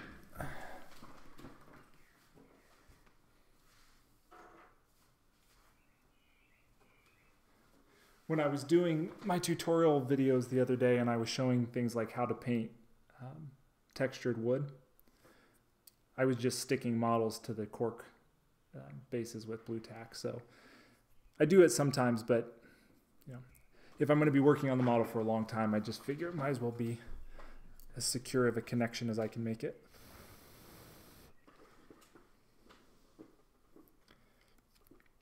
Well, welcome to the hobby. It's I've been painting or hobbying for about 20 years now, and it still excites me. I still sit at work and look forward to the, the time I can get home and, and sit down at my painting table and get some paint on models. It's a very rewarding hobby. It's very relaxing for me. It's kind of my zen moment in the day. So hopefully you you find as much joy of it as I do and some of the other people that are here. Um, I don't know how you found me. If you follow me on Twitter at Gorilla Brush, um, you know, I'm always happy to to give some tips to to you if you are looking for any advice on anything. You can go back and watch a lot of my uh, my Twitch videos. You can go try to find my YouTube channel where I have all the old streams cataloged from like I've painted this model I've painted from start to finish. Every minute has been um, on film, so you can watch from start to finish how I painted her. And again, I'm I've got some tutorial videos that'll be coming out in the in the next several months that might help you out. So.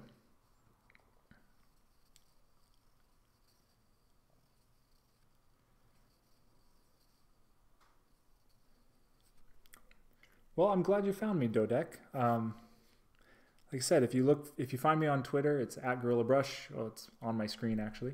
Um, or my my website has a couple tutorials up in the blog section, a couple written tutorials.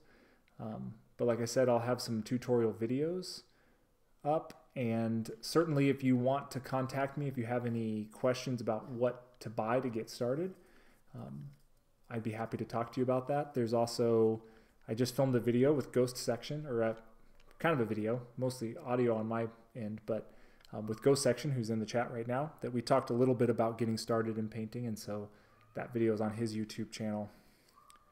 I'll be tweeting out the link to that later. But yeah, YouTube is a great place, even if you don't, even beyond my channel or Ghost Section's channel.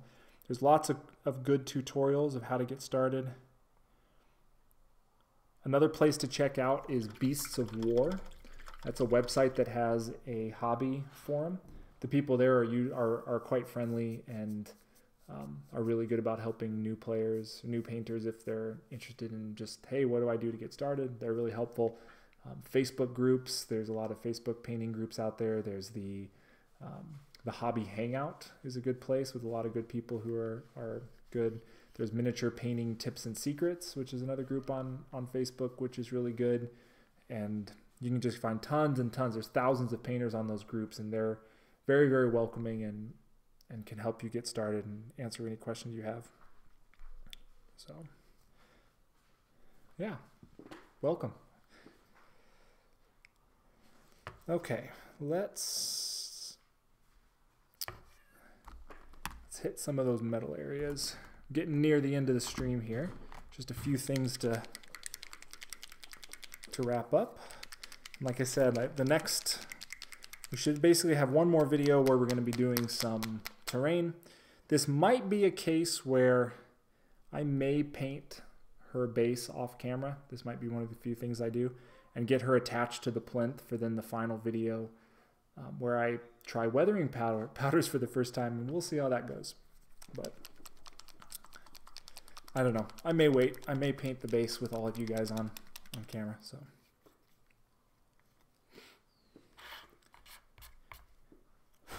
Can't go wrong with Vallejo. They're a good, they're a good brand of paints. But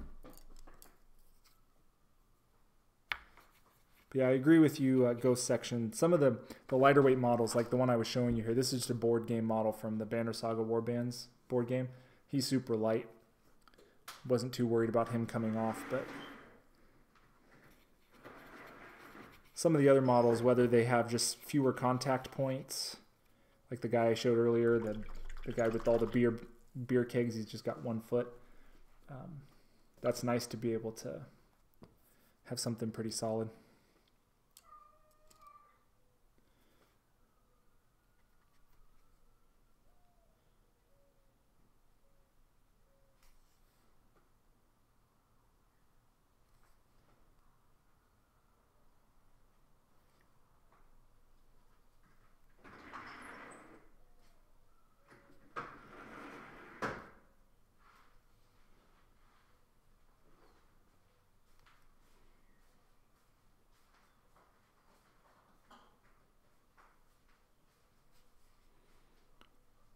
So right now I'm just edging the areas that I want to be sort of a gunmetal gray slash black.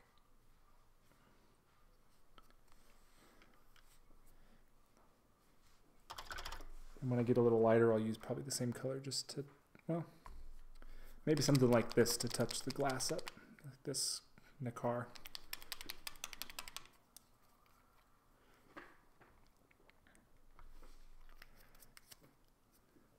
Yeah, Citadel are tricky. They're they kind of have um, specific uses for each of the types of paints. So then they'll have different thicknesses, and you know you kind of have to follow their recipe to, as a new painter to get the most out of those paints. Plus, the pots that they come in are not very fun to work with. Um, what I've done is I basically take all of those pots and I transfer them into dropper bottles because I like the dropper bottles and that's what Vallejo uses. So.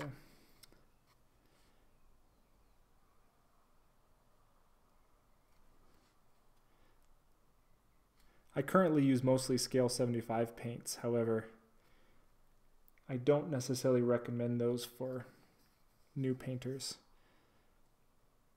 They're really, really good, but they just work a little different.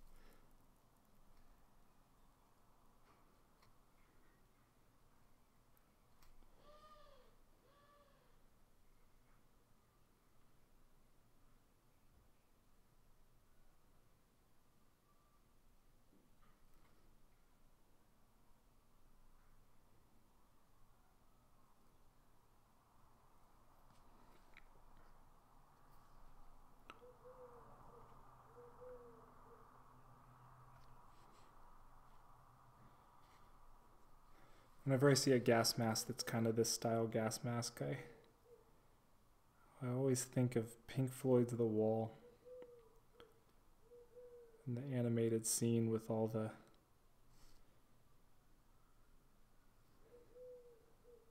like the skeletons and the soldiers and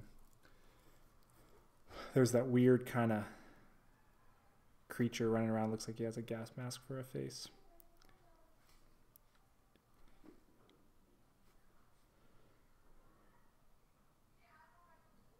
Depending on your taste in music and how old you are, that may or may not be a reference that you that you know off the top of your head.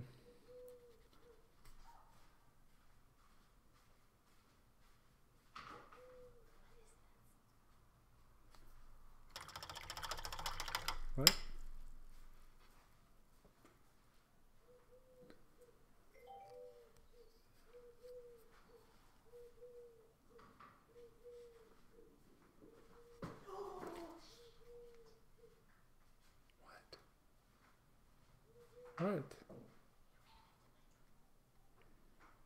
Sorry, guys.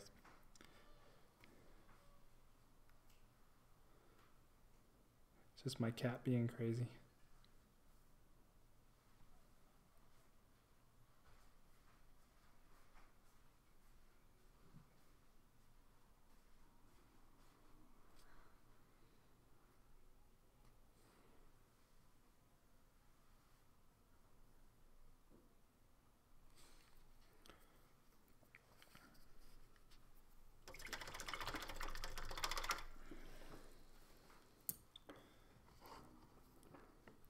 All guys. I, other than the the actual mud and brick and stuff on her base, I'm calling her done.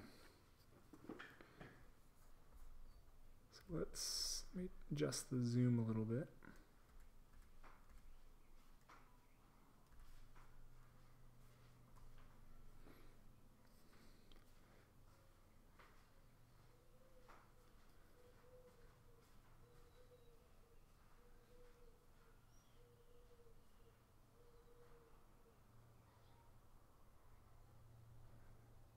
I realized I said I was going to glaze some purple into the gloves to help tie them in with the other leather.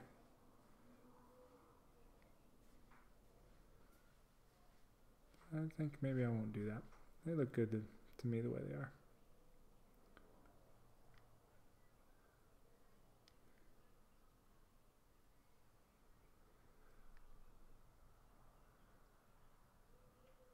So there you go. Oh, thanks for joining me, guys, for another Sunday stream. Um, I will get her attached to the plinth for the next time that I paint her, and then we'll start working on the rest of the base. What I'll probably do is glue her down. I'll glue her down this. She has this like extra bit of resin here. I'm trying to debate whether I risk, whether it's worth the risk to potentially damage the model, but take a Dremel and just take that off so she'll sit more flush with this, or just attach her and then kind of fill in the gap. I'm not quite sure which I'm going to do yet, but I'm going to attach her to this plinth, and then we'll start working on her, her base.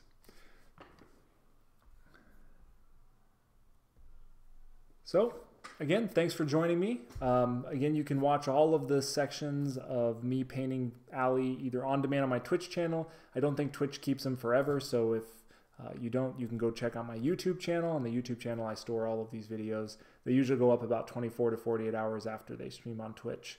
Uh, they're up on my YouTube channel. Again, keep a lookout for my tutorial videos that are going to be coming up in the next few months, and I'll be posting about, I'll be talking about those on stream, I'm sure. I'll be uh, tweeting about them on Twitter, putting them on my Facebook page. So follow me on different social media. Um, and have a great week. Again, thanks for stopping by. Take care.